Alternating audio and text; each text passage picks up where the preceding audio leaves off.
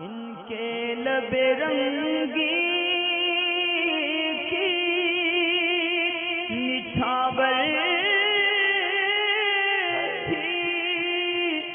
जिसने इन्हीं का दूसरा सवाल और भी था कि ऑनलाइन डाटा एंट्री करके पैसा कमाना कैसा है, हलाल या हराम?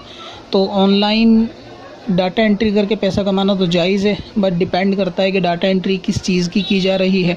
अगर ये कि कोई जनरली बुक है या कोई ऐसा प्रोडक्ट है जो खिलाफ शरीयत नहीं है, वहाँ पे अगर आप डाटा एंट्री करके किसी जायज़ काम वाली डाटा एंट्री करके ऑनलाइन पैसा कमाते हैं तो ये जायज़ है। और अगर ऐसा है कि आप कोई ऐसे कारोबार के लिए डाटा एंट्री करते हैं, मसलन ये कि कोई शराब की कंपनी है और उसको अपने जो है ना अकाउंट वगैरह मैनेज करने के लिए एक डाटा एंट्री ऑपरेटर चाहिए कुछ डाटा एंट्री करवाने के लिए तो फिर ये जायज़ नहीं है। ये ऐसे तरीके से कोई नाजायज़ काम वाला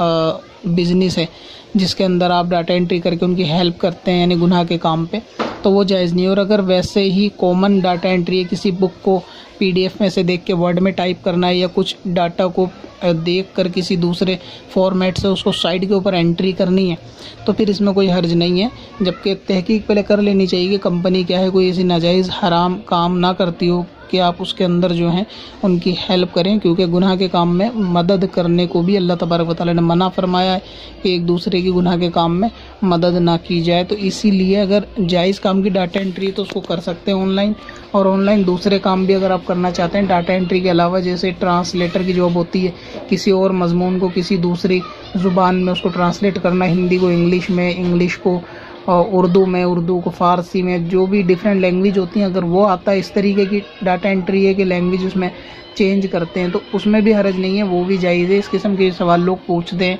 तो अगर वो फॉर्मेट या कंपनी ने जो काम दिया है, वो जायज़ है और काम भी वो जायज़ है तो उसमें की जा सकती है डाटा एंट्री और ऑनलाइन डाटा एंट्री करके पैसे कमाए जा सकते हैं, या ऑनलाइन दूसरे काम करके भी पैसे कमाए जाते हैं, कमाए जा सकते हैं। इसके अलावा भी काफ़ी सारे बिज़नेस ऑनलाइन होते हैं।